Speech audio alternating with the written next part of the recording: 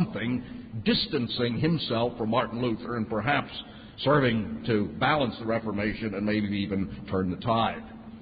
Erasmus was a bit reluctant to do that at first, but eventually he did write a treatise, a book on the freedom of the will. It was this very issue. Erasmus wanted to say that the will was free. Indeed, it must be free, said Erasmus, and he said it for very much the same reasons that had impressed Pelagius. You can't say that men and women are responsible before God and guilty if they fail to live up to God's standards, if they don't have free will. Well, Erasmus, as I said, wasn't very interested in the subject. He was somewhat deferential in the way he presented it, and he rather hoped, I suppose, that Luther would exercise the same kind of scholastic moderation.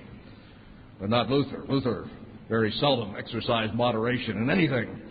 And he wrote a book in response to Erasmus's treatise called The Bondage of the Will, in which, if you read it carefully, the only good thing he has to say about Erasmus is that at least Erasmus has attacked the central issue. Luther recognized, even if Erasmus had not fully recognized it, that it is at the point of the bondage of the will that we really come face to face with the extent of our depravity. Luther went through the Bible in that book, a big book, from beginning to end, taking verse after verse after verse.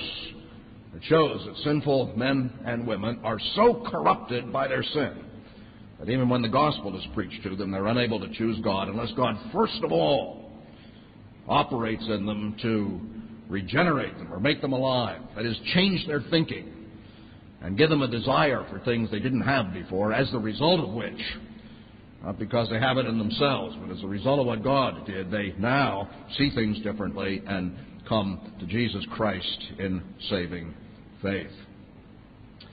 Well, uh, this, as I said, was repeated in the case of Arminius and the followers of Calvin, and it has been battled through at other periods of church history as well. Now, in uh, earlier years, when I was talking about the freedom of the will, I used to talk about Luther's view and say at this point that what Luther was saying was this, and I made this my view, that although we have free will in lesser and unimportant things, we do not have free will in all the major things. And I put it like this You and I can exercise free will in what we choose to put on as clothes in the morning. You can put on a red tie or a blue tie. You can decide to wear a dress or a blouse and skirt. When we go to a restaurant, we have a choice of what we'll eat on the menu. We can have chicken, or we can have roast beef, or we can have something else as well. All kinds of choices we make in that area. I pointed out that uh, in the intellectual area, we're unable to make choices. That is, in the sense that if my IQ is 120, I can't, by the mere exercise of my free will, turn my IQ into 140. And uh, unless I am an Olympic class runner, I cannot, by the free exercise of my will, decide to run the mile in four minutes or the 100 yard dash in eight seconds. I just can't do it. And I often said when I was trying to teach Luther's view, and this is Luther's view, that although the will is free in all those areas, it is not free in the important areas, and above all, it's not free in the area of our relationship to God. We cannot, by ourselves, by the exercise of our own free will, choose Him. Now, as far as it goes, that's all right, but I have learned not to speak that way anymore. And the reason is that in the meantime, between my early reading of Luther and his bondage of the will, I read Jonathan Edwards' treatise on the freedom of the will.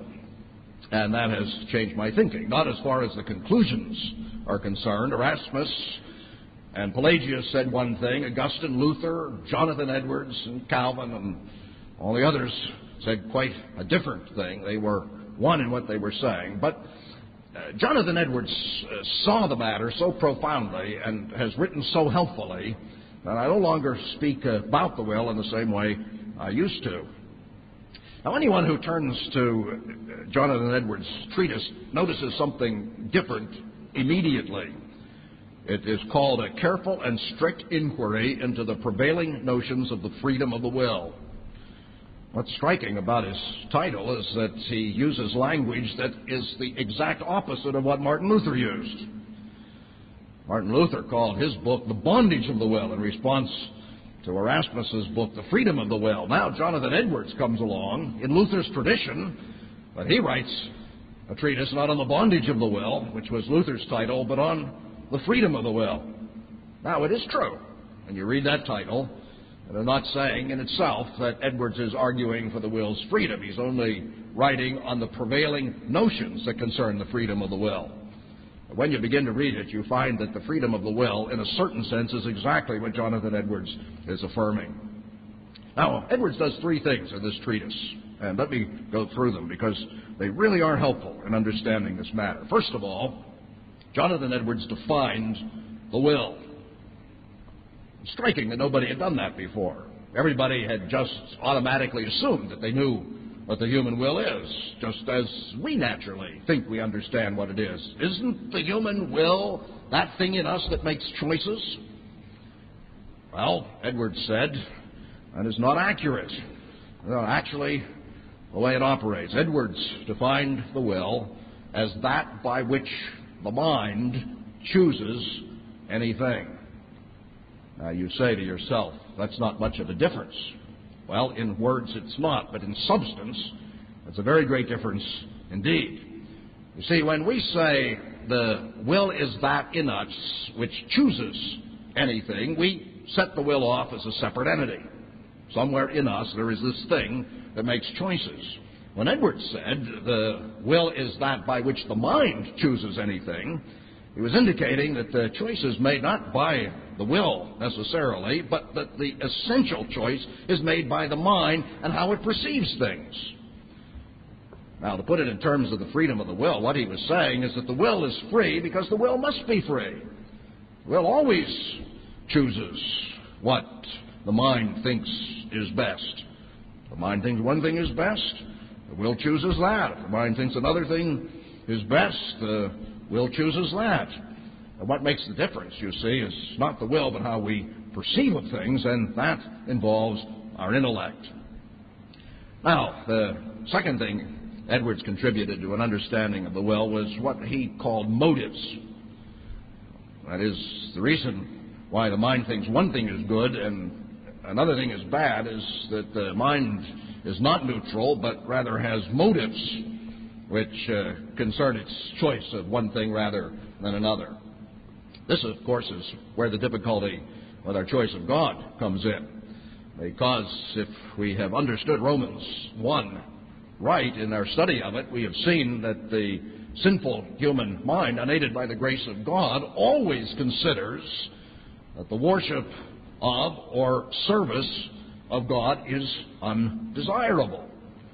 Here is a proclamation of God, and uh, the call is made that we should turn from sin and respond to God through faith in Jesus Christ, but our mind says, that is something I don't want.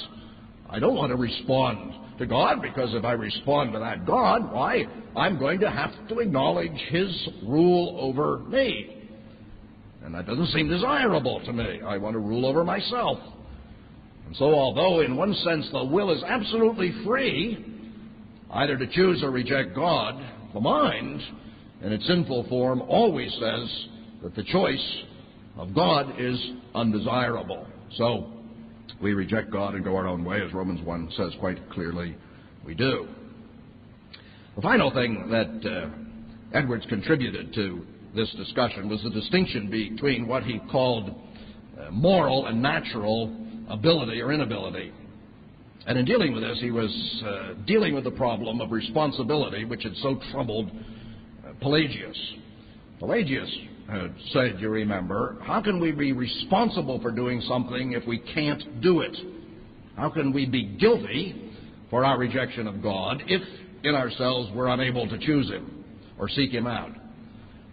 And Edwards said you have to distinguish at this point between a physical inability and a moral one. Physically, he said, we are able to choose God. Uh, but uh, it's in the moral area that we're not. And by definition, in the moral area, we are guilty. The reason we do not choose God is that we do not